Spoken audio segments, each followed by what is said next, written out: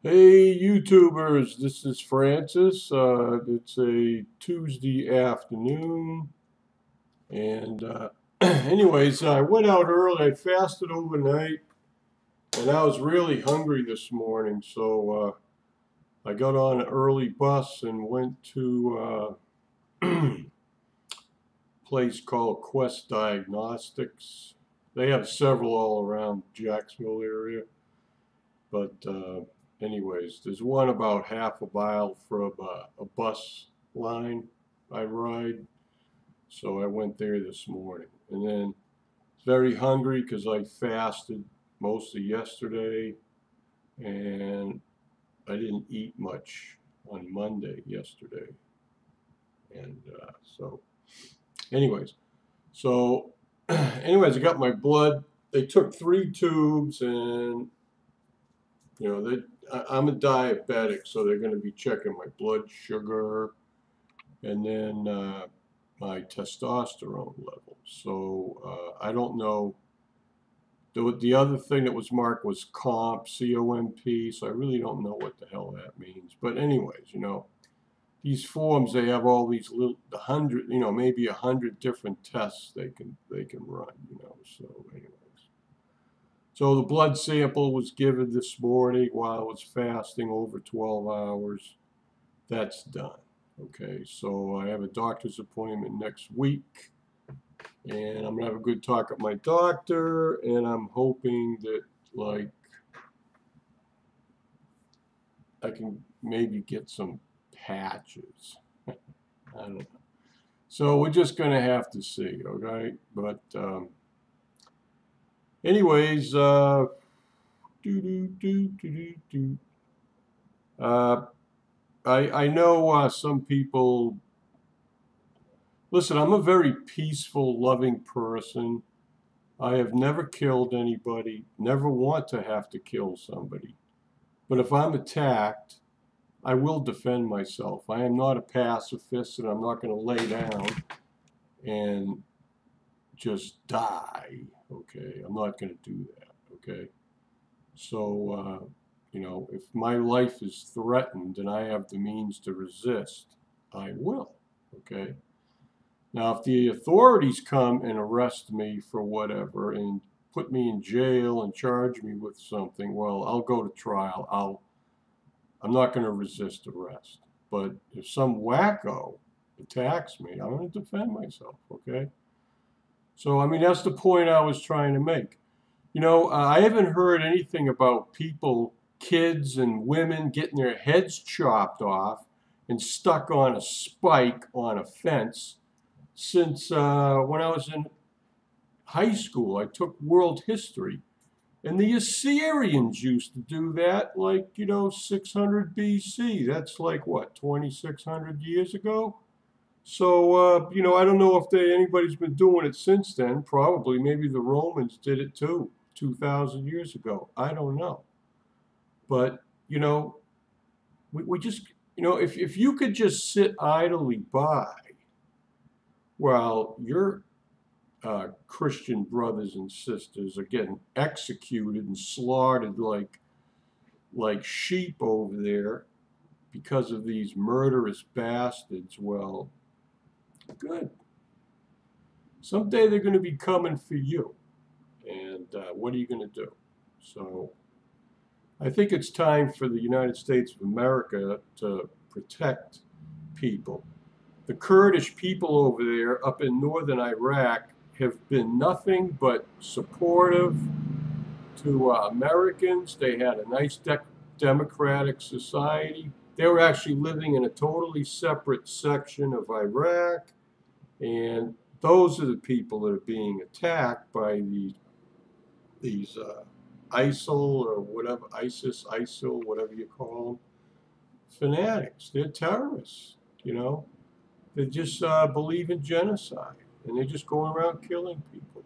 So, you know, I know some people took offense about me calling uh,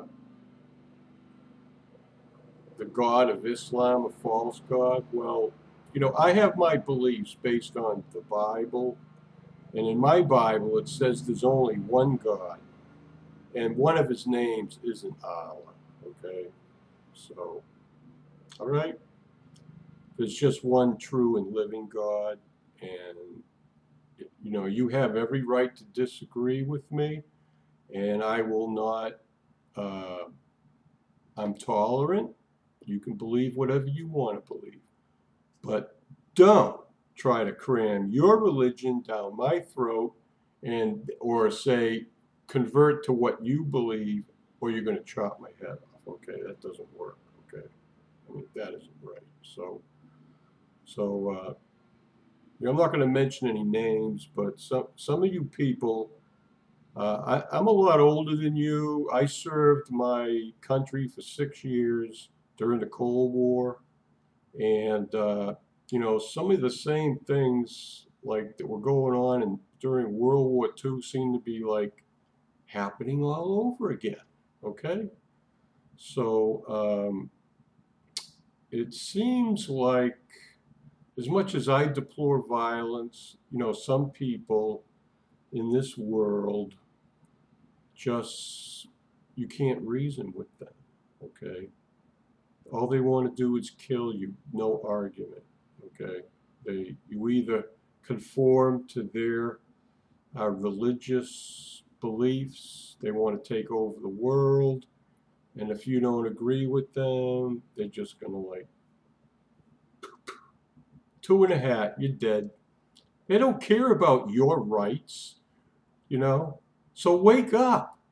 You know, we're either going to like uh, all be killed or we're going to do something to stop these people before they this thing spreads and gets out of hand. So, you know, you know, I, I, I look on uh, Facebook and uh, Google, and there's all kinds of things getting posted about things that have happened in the past and blaming the fingers this way.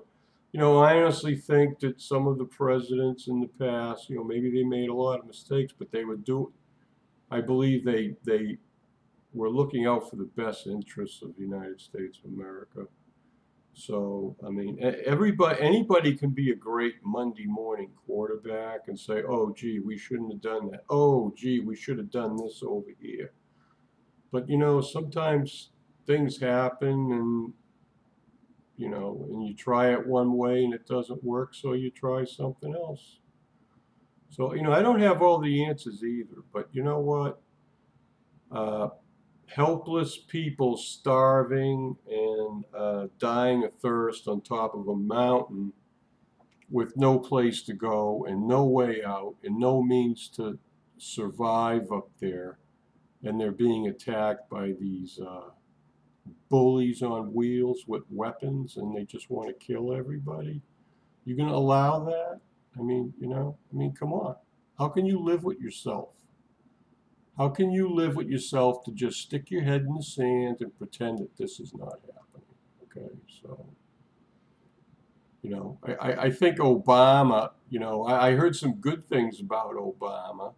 He made a couple good uh, comebacks about why we didn't leave troops in Iraq because uh, uh, the Iraqi government could not ensure their safety and would not say that they couldn't be taken to law, you know, in Iraq. Okay, so so we pulled our troops out of here, and and you know we were there for over ten years, and we trained those Iraqi soldiers and whatever, and then when these uh, ISIL or ISIS people came in, they just dropped their guns and run. Hey, you know, I mean, I don't know, you know. So something needs to be done. Uh, you know, may, maybe maybe Iraq is not a place that we can defend or want to use all the. Maybe that place needs to be split up into different sections and have all the Sunnis living in one region, the Kurds in another, and then the Shiites in another. Okay. I don't know. I mean, I don't know how they're going to be able to make peace over there. You know, I don't have all the answers, but letting people just go around cutting people's heads off is not like acceptable to me. Okay, so probably this has gone on hundreds of years ago. We didn't know about it because we didn't have uh, cameras and people to record it on the internet and in the news. I mean, I don't know.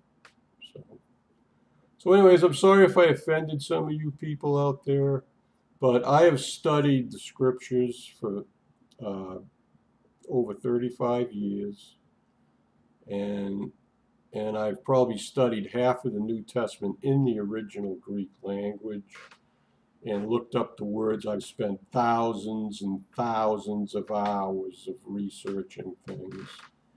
And uh, so I, I don't I don't take my religious faith lightly, and um, I'm already very well persuaded that I believe and practice the truth.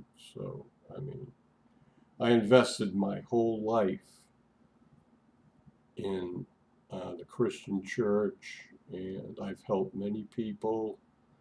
And you know, I'm not just going to walk away. You know, I mean, that's not that's not an option for me.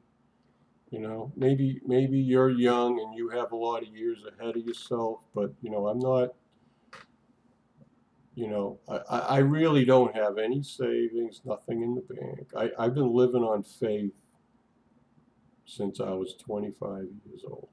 I've gone through many jobs, uh, employment situations, single parenting. I've done a lot of things with God's help, and and I am and I'm really sorry that Robin Williams uh, supposedly committed suicide this weekend last or maybe Sunday night. I don't know what night. It was just a day or two ago.